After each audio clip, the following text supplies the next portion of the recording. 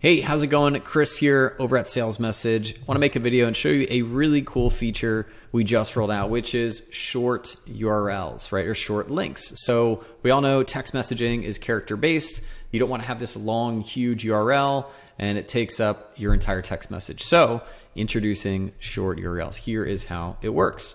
So from chat, what you can do is just type in your text. Hey there, uh, check out this video and then paste in your URL. And it could be a really long one. This one's a YouTube link. And then if you just click short URL, like magic, our tool is going to change that link to a short link. And look at that, salesmsg.com. When somebody clicks that URL, it's going to then redirect to the page. And in this case, this one. So, uh, never to give you up. All right, so that's it. Love to hear your feedback. Right now, it's on chat. We're going to be adding it in broadcasting, triggers, canned messages, uh, you name it, all throughout the app so you can shorten those URLs. And then what's going to come next is tracking. So, how many clicks, all that fun stuff is going to come soon. So, let me know in the comments what you think. Thanks so much.